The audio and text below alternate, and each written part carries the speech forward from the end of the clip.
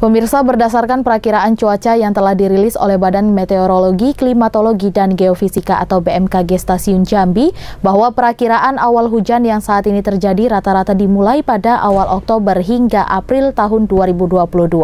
Dan pada bulan November ini menjadi puncak musim hujan di Provinsi Jambi.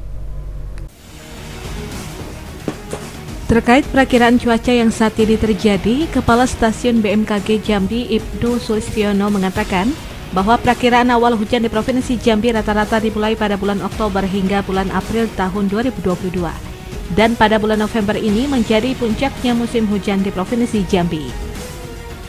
Kemudian ada beberapa wilayah atau daerah yang memiliki curah hujan tinggi dan juga sifat hujan di atas normal.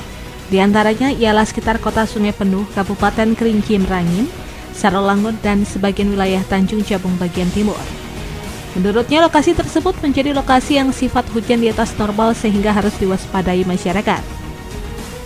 Atas hal itu, Ibnu menjelaskan untuk status dalam hal ini BMKG selalu menyampaikan informasi peringatan dini baik harian ataupun tiga harian. Untuk di awal bulan November ini, pada bulan November 2021, ada potensi waspada terjadi banjir khususnya di wilayah Provinsi Jambi bagian barat, yaitu di Kabupaten Kerinci, Merangin, dan Sarolangun untuk dua hingga tiga hari ke depan. Mengingat intensitas curah hujan yang masih tinggi dengan sifat hujan yang di atas normal, yang perlu diwaspadai yang pertama daerah di sekitar perbukitan, daerah gunung dan dataran tinggi untuk mengurangi ataupun bahaya longsor perlu diwaspadai di daerah tersebut.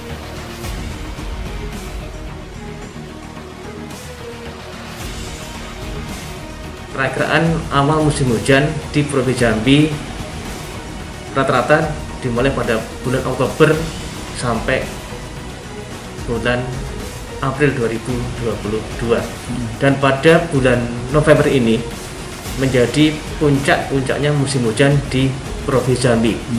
Ada beberapa wilayah atau daerah yang memiliki curah hujan tinggi dan juga sifat hujan di atas normal. Di antaranya ialah sekitar kota Sungai Penuh, kemudian Kabupaten Kerinci, Kabupaten Merangin, Kabupaten Sarawak dan sebagian wilayah Tanjung Jabung bagian timur. Kepala BMKG Jambi menghimbau kepada masyarakat tetap tenang dan waspada mengingat informasi cuaca dan iklim bisa diperkirakan sehingga masyarakat dan pemerintah daerah bisa merencanakan ataupun memitigasi dampak yang informasi BMKG sampaikan. Dirinya juga berharap agar masyarakat mulai membersihkan selokan-selokan air, mulai memangkas pohon-pohon yang sekiranya akan tumbang, dan juga selalu mengupdate informasi cuaca dari BMKG terdekat. Rian Chen Chen, Cek TV, melaporkan.